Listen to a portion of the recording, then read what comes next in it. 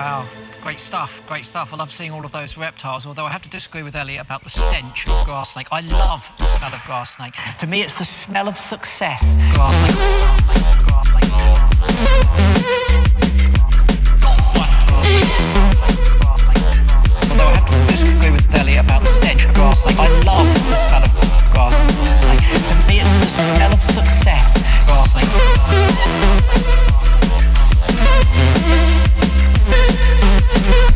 Catching grass snakes when I was a kid. If you came back smelling of that, you've got one. You've been successful.